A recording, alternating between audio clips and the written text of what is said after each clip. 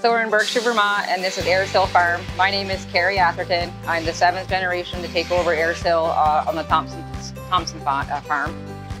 In 2018, we did the um, real-time and SmartDairy meters in the parlor. We have a double 10 parallel. Uh, we milk around 200 cows.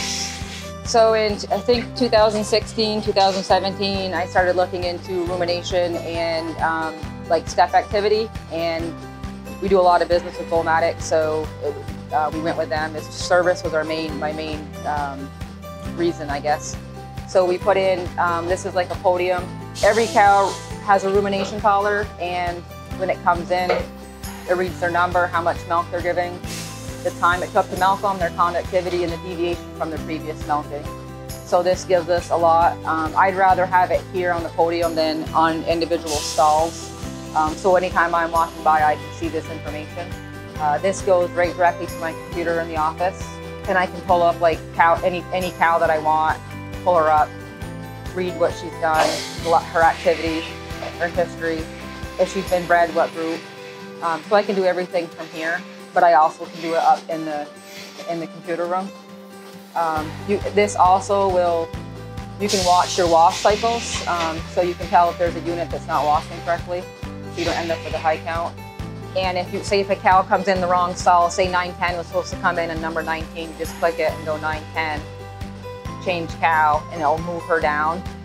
Um, it's not going to read her now because she's actually in that stall. But if you wanted to delete her, you could just go delete, and it will take her out. Um, and if a cow, if it misses a cow, because that does happen, two cows might come in too close together, and you might get a blank cow up here. You can just simply, you know, click on the stall number, put in your cow number and push insert and everything just drops down a bar. Um, so it's, it's, worked out pretty well. It's been really good for me for DHIA testing because I go up and take the numbers and then I can come through and just make sure they're all correct here instead of going stall to stall. Um, and the milkers like it as well too because they can kind of just see right off the bat. At first, I think they were a little disappointed they wanted it over the stall and now that we've got this, they would rather see this. This highlights things. You can color code it. Um, you can change the the colors, uh, what you want to be alerted, what you don't want to be alerted, um, like your attentions and stuff. So if you have a cow that calves, she's going to come in as a red cow, saying she's not good for the tank. Um, and you can either set it up where you have to come and clear it before you can actually put her milk in the tank, or you can set it up where you don't have to come in and manually clear it, so there's no accidents. But so they give you a lot of choices as far as what you're looking for, I guess. Uh, so we've been with BouMatic for like 40 years, maybe. Ever since I was little, little. And when there's a service call, they come. That's the biggest thing. Um, of course, when you got the, the web and the social media and Facebook, you're hearing different parts of Wisconsin that have no, no service, no dealership. Um, and I can't imagine. We have a really good support system here, um, just because I think we're really strong in dairy, the area itself.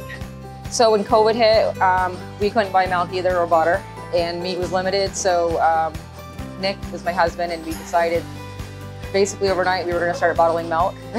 so I don't know if that was a good decision or a bad decision because it's extremely busy.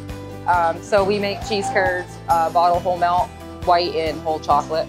We do produce good high quality milk here, so if we can run that through some products, maybe we can get a little bit better return on our margin.